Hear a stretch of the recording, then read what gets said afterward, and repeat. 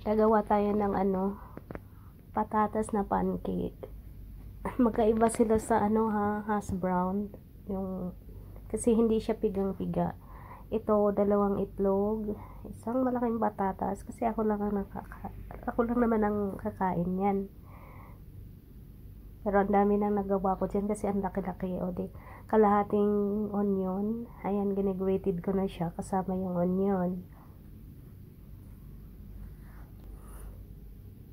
Hiniwalay ko na siya ngayon yung yung katas niyan. Hindi ko yan pinigang husto. Kung may ano pa.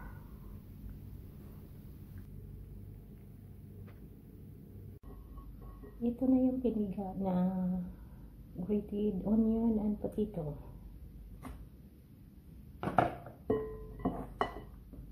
Lagyan natin ng 2 eggs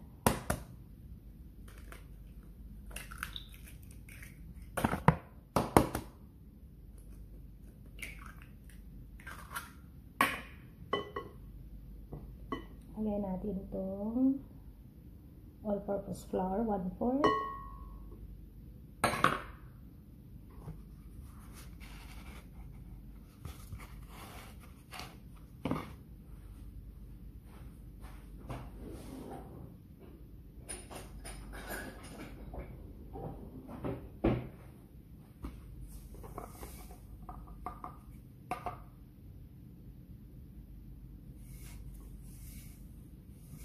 then salt.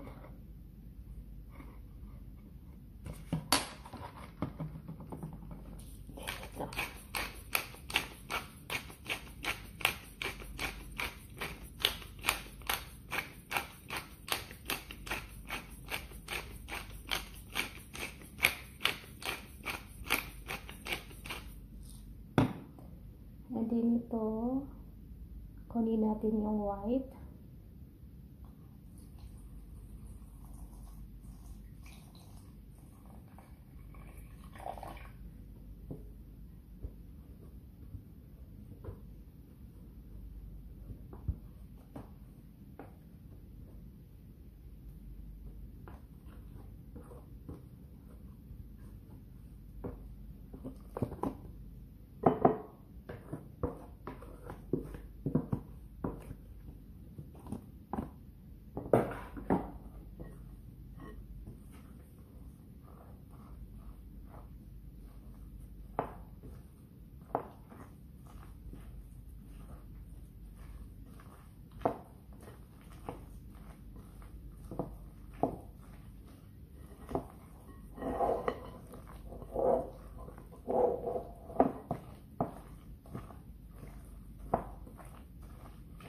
gusto ko maraming black pepper.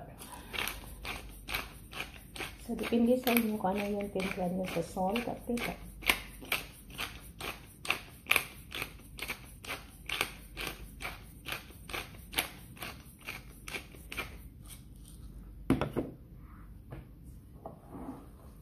Ang pagluluto, wala sa ingredients yan.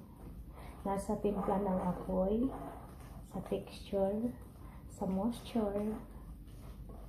Lahat nagdepende kung paano mo gamitan ng apoy, yung temperature. Wala sa ingredients. Okay? Kasi kahit nakuha niyo yung ingredients, kung hindi naman hindi naman ninyo paano gawin yung templada ng apoy, maaaring masisira yung hindi tama yung pagluluto. So, ang sekreto ng pagluluto ay nasa temperature ng apoy. Okay? Wala sa ingredients. May mga ingredients na pwede namang isa-substitute para kayo palitawin yung anong gusto niyong lasa. Yan, tapos na siya. Ito na yung gagawin ko. Lulutuin ko na mamaya. Kung ilan lang yung gusto kong kainin, yun lang lutuin ko. Napadami yata eh. Enjoy watching guys. Pag may mga tanong kayo, free to comment. Okay?